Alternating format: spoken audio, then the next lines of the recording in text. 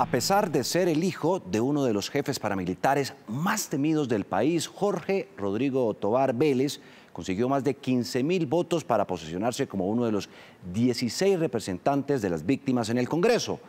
Cuatro demandas y una acción de tutela ante el Consejo de Estado piden evitar que continúe en su curul. Su abogado defensor dice que los delitos de sangre no existen. Huachaca, uno de los pueblos del Magdalena más golpeados por la guerra paramilitar, no tuvo elecciones este año. En este paraíso de selva y playa había 6.500 cédulas habilitadas, pero a la fiesta de la democracia no llegaron ni los votantes ni los jurados electorales. Lo que hicieron fue no permitir que, hubieran elecciones como un mecanismo de, de demostrar que ellos están en el poder, que ellos son fuertes, que ellos son una autoridad y tumbaron unos árboles, eh, bloquearon unas carreteras, amenazaron a los testigos electorales, enviaron cadenas de WhatsApp donde decía que si alguien sale a votar lo matamos y efectivamente la gente no votó. Hombres encapuchados de las autodefensas gaitanistas amenazaron a la población. La razón, según explican líderes de la zona, Huachaca es un pueblo que se resistió a darle su apoyo al Yoyo Tobar, el hijo de Jorge 40, a quien consideran un heredero del paramilitarismo. Por eso, los armados habrían infundido temor para que nadie saliera a votar. Claramente, el hijo de Jorge 40 no iba a tener ningún tipo de apoyo importante dentro de esta zona. Ellos tenían su propio candidato para la columna especial para la paz, que también había sido una persona víctima de la violencia y que era de esa región. Episodios amenazantes se repitieron en otros pueblos de La Guajira, Cesar y Magdalena, en donde Jorge Tobar Vélez consiguió 15.272 votos para alcanzar una de las curules destinadas para las víctimas. Vamos a cambiar la política en el departamento del Cesar. Un resultado electoral sorprendente, pues si bien fue el más alto de las 16 curules de paz, también resultó el más cuestionado. En la Sierra Nevada de Santa Marta y en La Guajira, es que las autodefensas gaitanistas de Colombia, digamos que estaban en un proceso de reestructuración. La justicia, la paz mi anhelo. Pero allí había, había pasado un hecho puntual y es que se había fugado de la cárcel Edgar eh, Córdoba Trujillo, alias 57, y era quien estaba comandando la retoma del Magdalena, Cesar y Guajira. Entonces, al menos, por ejemplo, en las zonas PDs de la Sierra Nevada de Santa Marta, las autodefensas gaitanistas de Colombia, en algunos casos, obligaron eh, para que votaran por él en zonas rurales. Supimos que había compra de votos a su favor en la campaña sobre todo en Aracataca eh, y en Fundación. Yo soy víctima de la violencia. El rechazo de varias comunidades llegó al Consejo de Estado, en donde se discuten cuatro demandas que piden anular la elección de Jorge Tobar Vélez. Una de las más sobresalientes es la interpuesta por Andrés Felipe Palmesano, quien describió al menos medio centenar de episodios intimidantes protagonizados en su mayoría por las autodefensas gaitanistas contra poblaciones que históricamente fueron asediadas por los paramilitares y terminaron por darle su voto a Tobar Vélez.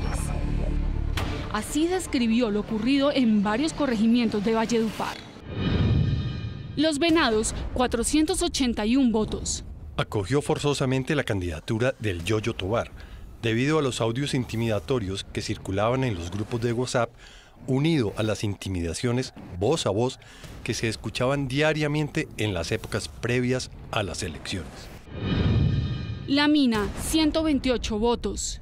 Fueron presionados por los grupos que se rearmaron en las estribaciones de la Sierra Nevada para votar por Tobar Vélez. Caracolí, 226 votos. No solo fueron intimidados en el preludio del certamen electoral, sino también el día de las elecciones en donde apareció un sujeto con un megáfono diciéndole a las personas que salieran a votar por Yoyo. El demandante pelea para que su reclamo sea admitido en el Consejo de Estado. Según él, se deben anular 9.857 votos obtenidos en 216 mesas de votación que estuvieron bajo la supuesta amenaza y la intimidación de los violentos. De modo que de prosperar este reclamo, de los 15.272 votos reportados, solo le quedarían a Tobar 5.415, insuficientes para mantener la curul. También asegura que hubo regiones en donde candidatos diferentes al hijo de Jorge 40 no pudieron tener acceso por la presión armada y que en varios corregimientos de Ciénaga hubo jóvenes que fueron detenidos por las autodefensas gaitanistas para indicarles el sentido del voto. Una falsedad. Holman Ibáñez, el abogado que defiende los intereses de Tobar, aseguró. Algo que es claro es que Jorge Rodrigo Tobar Vélez no tiene ningún vínculo ninguno con ningún grupo armado al margen de la ley. Llámese bandas, llámese grupos residuales, GAOR, nada, nada de eso, ni paramilitarismo.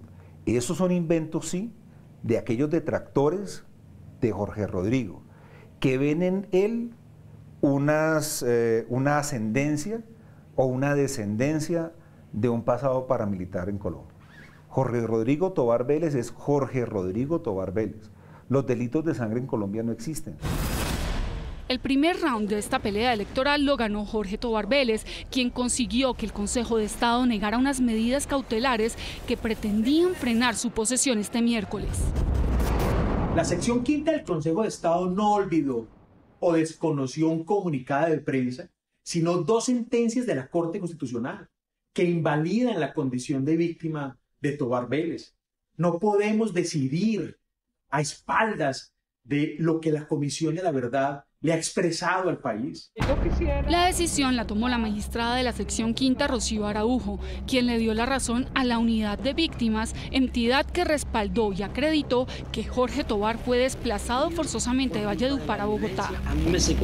No obstante, a través de una acción de tutela, el abogado Mauricio Pava insiste en sacarlo del Congreso antes de que comience a sesionar su posesión el 20 de julio es una afrenta a lo que la Comisión de Paz le comunicó al país el 28 de junio, a la democracia y a las reales víctimas del conflicto.